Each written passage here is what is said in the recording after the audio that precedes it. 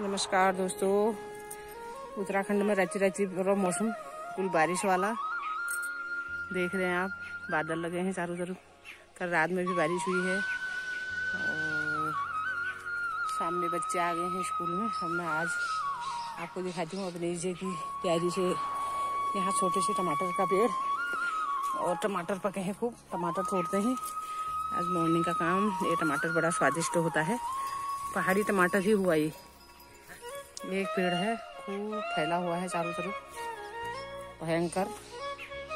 और तमाम छोटे छोटे टमाटर जिसमें हरे, लाल।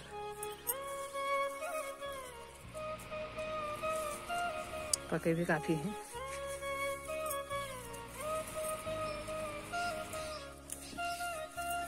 दबे हैं नीचे हरे।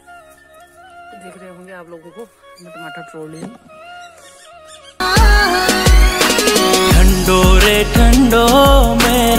ठंडो की हवा ठंडी पानी।